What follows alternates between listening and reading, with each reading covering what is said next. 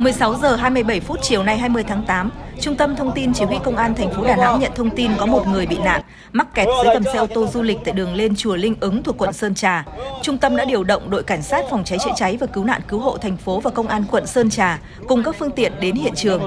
Lúc này nạn nhân đang bị mắc kẹt tại gầm xe phía sau trong tình trạng đa chấn thương. Sau đó, chỉ huy cứu nạn cứu hộ đã tổ chức cố định xe khách, sử dụng thiết bị gối hơi, túi nâng, kích thủy lực để nâng gầm xe, tạo khoảng hở để cứu người bị nạn. Khoảng 10 phút sau, lực lượng cứu nạn cứu hộ đã đưa được người bị nạn thoát ra an toàn để chăm sóc y tế. Nạn nhân là người mang quốc tịch Hàn Quốc 32 tuổi. Nguyên nhân vụ việc đang được làm rõ.